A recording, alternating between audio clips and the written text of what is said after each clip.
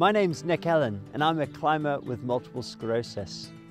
I've just written a book called To the Summit, and I'm really excited about it. It's coming out on September 16th, and I just thought that I'd tell you a bit about it. For as long as I can remember, I have had a deep passion for the mountains.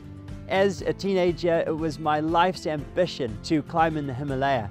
I was really fit too. I'd cycle about 400 kilometers a week and thought nothing of doing long tramps. But then in my 20s, my legs stopped working properly. I was 25 when I was finally diagnosed with multiple sclerosis and I was devastated.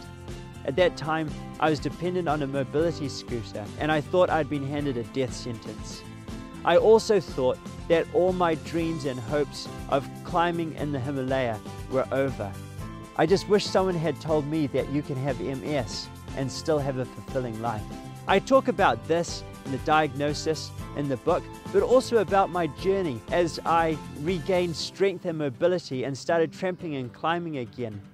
This is the most exciting part, I think.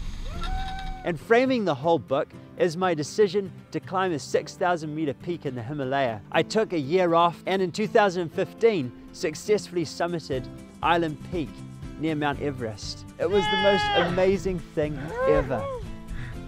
Yes! I also love photography and the book is filled with about a hundred of my images in full color. Printed out, it looks amazing.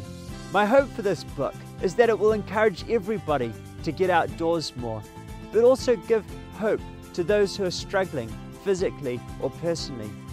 But even if you don't struggle, and love the outdoors, good photography, adventure, or travel writing, I'm sure you will enjoy this book. So keep an eye out for To the Summit and a bookseller near you.